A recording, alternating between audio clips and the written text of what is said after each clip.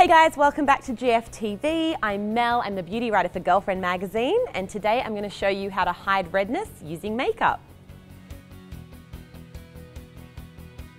First up, apply a calming moisturiser to hydrate your skin. Then add a primer. This will help keep your makeup and concealer in place. Next up, add a green concealer to any areas of redness.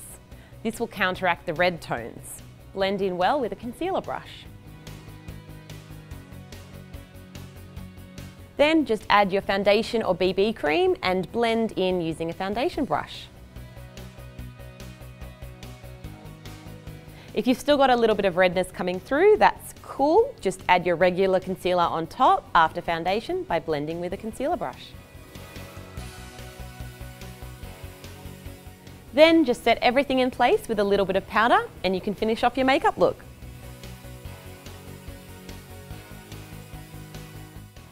Cool guys, well I'm sure that you look just as awesome as Shania does here with her flawless skin.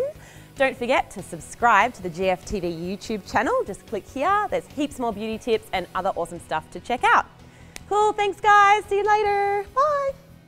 Hey guys, it's Mel here. I'm um, if you want some more beauty tips, you should definitely subscribe to the GFTV YouTube.